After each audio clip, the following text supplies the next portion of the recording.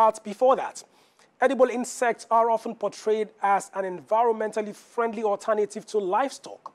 Like the production of meat, bugs do not use up large amounts of land, water, or feed. But who is already eating them and do they actually taste any good?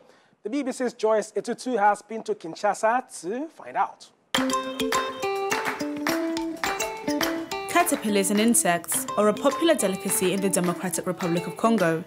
The market for edible insects is forecast to reach $1.2 billion by 2023. This is Zegina Market, one of the biggest and busiest marketplaces in Kinshasa. Shoppers here can buy anything from clothes to household items and even insects. Let's go get some. Farming a kilo of insects produces 10 to 100 times less CO2 than the same amount of meat. According to Fenor, a regular buyer, the insects are small but costly. You see this? They are fresh and they've got loads of vitamins which people love. It's also traditional food from our country, so we eat it because we love it. In Kinshasa, many places cook them. So just how do these creepy crawlies go from being in the market to a restaurant menu? I went to meet Madame Françoise, the owner of Les Bambous chez Françoise. Hi, I'm Joyce. Bonjour, c'est Madame Françoise. She let me into her kitchen secrets. So, shall we do some cooking? Ah ouais, je prépare comme ça. Bon, donc juste. Voilà.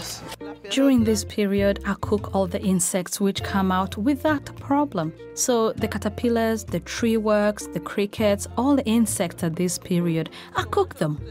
Madame Françoise sells a small portion of caterpillars for 7,500 francs.